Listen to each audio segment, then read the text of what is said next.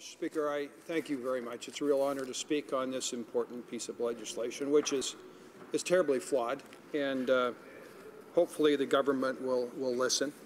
I, um, just before I speak uh, specifically to C-24, I, just the, the, previous Liberal speaker with great gusto, gusto uh, shared uh, to this House, to you, that uh, he was shocked that there were, uh, that about a question of young people having access to, to cannabis.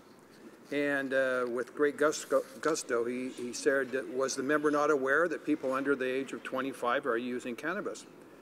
Yes, that is happening. And that's why, as a country, we need to better control um, cannabis and, and access to the youth. So the new scientific, liberal scientific approach is to make sure that our young people 12, 13, 14 do not have access to cannabis, we're going to make sure that they can have access to cannabis. What they are proposing with the marijuana legislation is to 12 to 18, 5 grams, youth will be able to legally possess 5 grams. When you hit the age of 18, it goes to 30 grams. 5 grams of, of marijuana is 15 joints. 30 grams is 90 joints. So their new scientific approach is the way they're going to keep marijuana out of the hands of youth is allowing youth to have in their possession up to 15 grams each. Now, I, I, I, uh, that is a science course that I never have taken, and uh, maybe, uh, maybe it's the new liberal science course.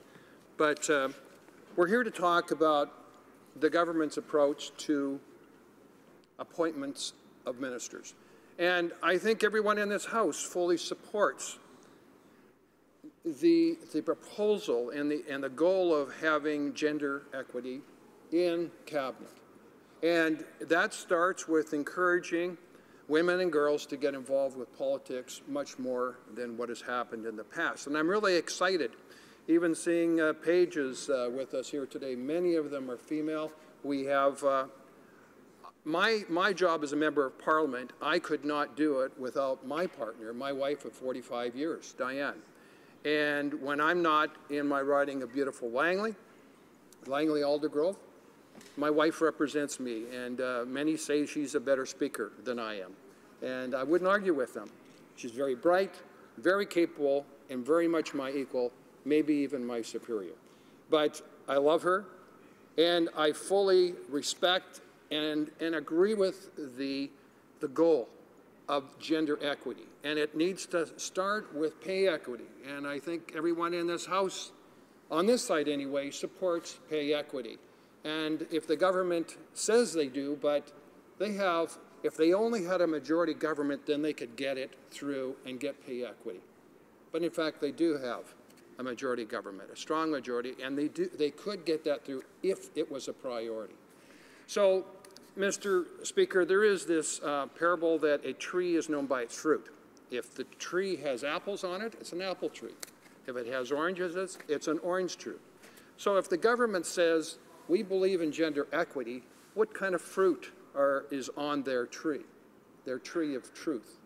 And unfortunately, Canadians are seeing what the government says and what the government does is two very, very different things. And so we're talking about changing the appointments to ministers, changing junior ministers, ministers of state, to now being paid the same amount as a full minister, but not having the title, nor the responsibility, nor the support. And so tokenism is not what uh, this side believes in, and Canadians don't believe in tokenism. It has to be truly gender equity. And so uh, some of the most intelligent women I've ever worked with um, when I was uh, in this house, Rona Ambrose, the former leader of our party, and before that she was uh, a number of ministers, very capable. I was her parliamentary secretary and I was honored to be in that, given that responsibility. Very intelligent woman, uh, and it was, uh, I learned from her, and uh, it was an exciting time to be the parliamentary secretary to the Minister of Environment. Before being elected, I was with the Insurance Corporation of, of British Columbia. Aileen Shabata was, uh, was our manager, our regional manager, manager for loss prevention and road safety. Very intelligent woman. And there are very intelligent women that should be given responsibilities in this House based on their skill level. And, and it that's how it should be, I believe. Pay equity based on the work that you do. And if you have those skills, then we need to honor those skills and give that person responsibility, regardless of their gender. And so I think that goal of encouraging women to get involved is a goal that's very important and, and needs to be encouraged. And I need, I, uh, Mr. Speaker, we need to encourage the government to truly, truly uh, give women opportunities. I'm thinking of what is said and what is done. Uh, Mr. Speaker, there's a by-election going on in Canada. There are four ridings. Uh, one of them is in South Surrey White Rock. And, uh, Mr. Speaker, the Liberals chose uh, a man to run for them. A very nice man, a retired man, but there was a woman, very capable, intelligent woman that wanted to run for the Liberals, uh, and they said, no, we want a man. And um, which was very unfortunate because if the government really believes in gender equity, they would have given that woman the opportunity to run. So the woman that's running in that actually is Kerry-Lynne Findlay, who is a former cabinet minister, and I hope she returns back here after the December 11th because very capable, and again an example of our party supporting women to get involved with politics. Mr. Speaker, um, having been in this House for 13 and a half years, elected in 2004, I've experienced the importance of regional development ministers. And uh, the regional development minister for British Columbia very successful. That, re that regional minister's office is where the provinces went to to, uh, to meet. The province repre provincial representatives went to the regional minister, and in a coordinated, prioritized way, they were able to put the money into infrastructure where it was needed, and it would have long-term benefits. Now, without an organized approach, without removing the regional ministers, you lose that organized approach and that voice and that consultation between the federal government and the provincial governments. And so I think it's a big mistake.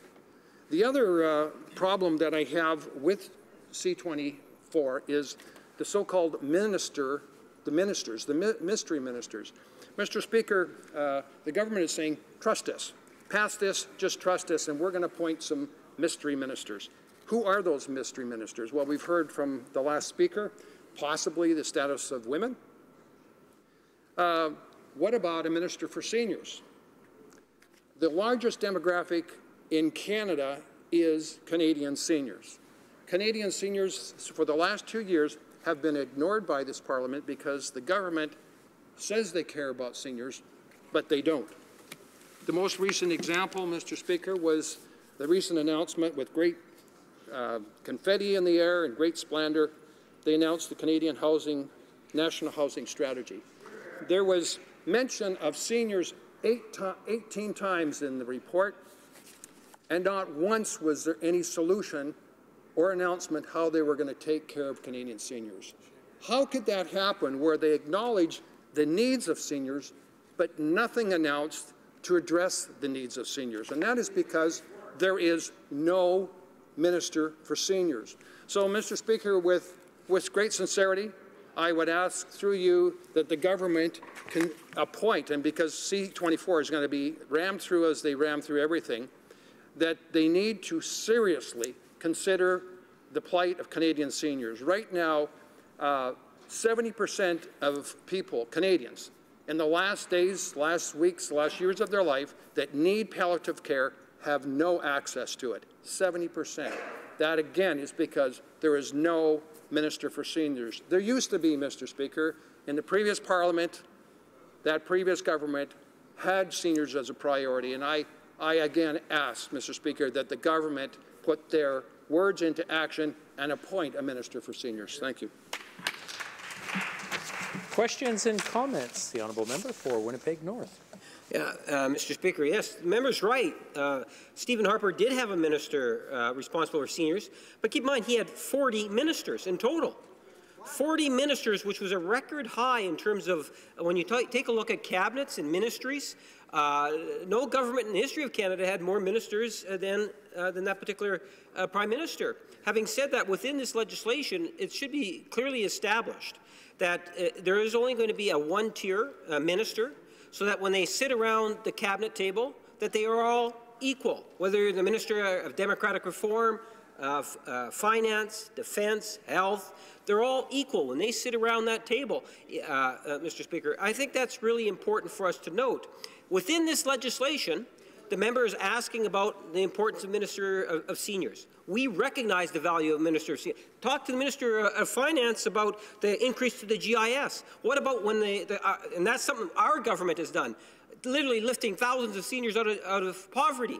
We have decreased the age of retirement from 67 to 65. The member will recall when they had a Ministry of Seniors, they actually increased the age of retirement from 65 to 67. We reversed that. So it's the priorities of government that are really important to recognize here. And the good news is, is that within this legislation, it does enable not only the current but future prime ministers to be able to extend and have a couple more uh, cabinet ministers. And that is, is a good thing too, I suspect, given uh, the member's uh, comments. He can maybe just provide some thought, his thoughts on my comments. Well, member for Langley Aldergrove. So, Mr. Speaker, the, the member uh, I don't uh, think it was deliberate, but he's misled uh, the, this, uh, this Parliament or he's ill-informed.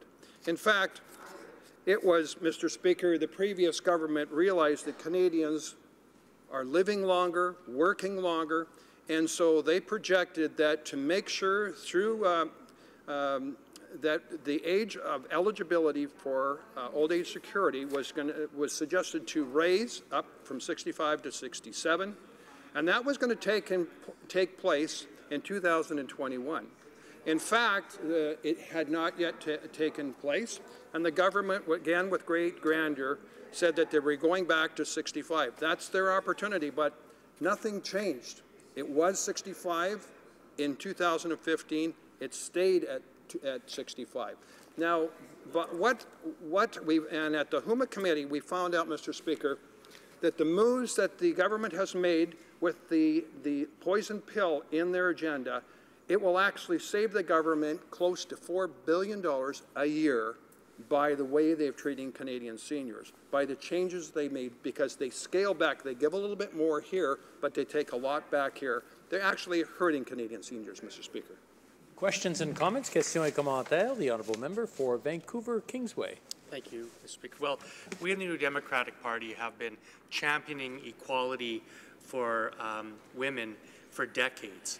And um, again, I'm happy to see that there is a gender parity cabinet, but really this government has become one that is a government of spin, image, and good intentions, mm -hmm. rather than uh, solid actions. You always have to look beneath the surface to see if their rhetoric really matches a reality. And I, I just was looking at the structure of this government, and even though they, this government's making a big deal of its commitment to women, and the Prime Minister says he's a feminist, and um, they, they have gender parity in cabinet, I, I'm quite shocked to see that the minister, the, the minister responsibility, uh, responsible for the status of Women Canada uh, prevails over the Status of Women's Canada, which is an agency currently under the Department of Canadian Heritage. Yep. So this government, although it says that women make up more than half the population, has not actually saw fit to create a standalone ministry mm-hmm. responsible for women. And I'm wondering if my honourable colleague can comment on that as to whether or not he thinks that the, this government's lack of action on real equality for women matches their rhetoric and what they would like Canadians to believe. The honourable member for Langley Aldergrove in 45 seconds or less, please.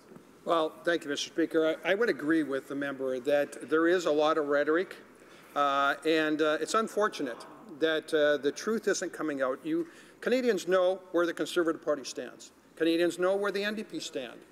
Uh, Canadians do not know what the Liberal government stands because they will tell Canadians what they want to hear, but what they have planned is something very different. And I would agree that their rhetoric does not match what they actually do.